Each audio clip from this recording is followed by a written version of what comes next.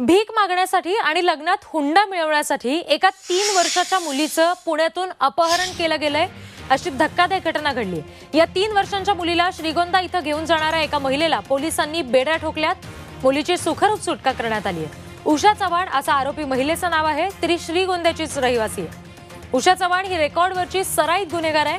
पुण्यामध्ये ढोले पाटील रोडवर एका फुगे विकणाऱ्या महिलेच्या तीन वर्षांच्या मुलीचं अपहरण झालं होतं. आणि ही मुलगी आईसह एका रिक्षात झोपली होती. तेव्हा या मुलीला अलगत पळवून देण्यात आलं. पोलिसांनी तब्बल पाच दिवस अडीचशेहून अधिक सीसीटीव्ही कॅमेरे तपासले. हातातल्या पिशवीच्या नावावरून थेट आरोपी महिलेचं घर गाठलं आणि आरोपीला अटक केली. उषा चव्हाणला दोन मुलगे आणि दोन मुली आहेत. उषा चव्हाणच्या समाजामध्ये मुलीचं लग्न करताना मुलाकडून हुंडा घेण्याची प्रथा आहे. अपहरण झालेल्या मुलीला भीक मागायला लावणं तसंच पुढे तिचं लग्न करून मग हुंडा उकळणं यासाठी तिचं अपहरण केलं गेलं होतं. लाल मातीतली कुस्ती. म्हणजे